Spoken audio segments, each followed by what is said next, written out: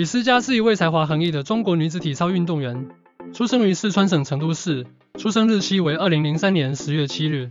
她从小开始接受体操训练，后来在二零一七年被选入中国国家体操队。自那时起，李思佳以其出色的表现在体操界崭露头角。二零一八年，李思佳参加了世界奥林匹克体操学院邀请赛，并在青年组女子平衡木项目中获得银牌，这是她职业生涯中的重要时刻，标志着她的第一次国际成功。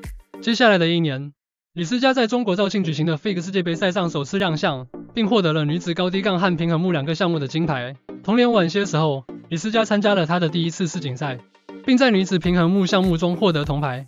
这是这位年轻体操运动员的重要成就，也证明了她的努力和专注。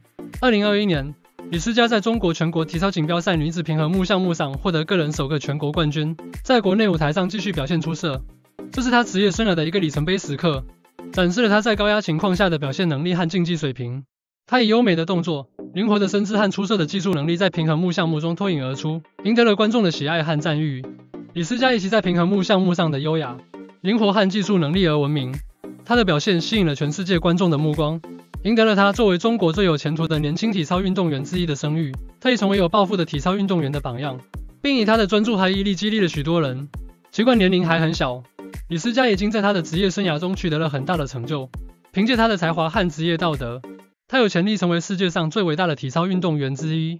作为一个年轻的体操选手，李斯佳仍有很大的发展空间和潜力。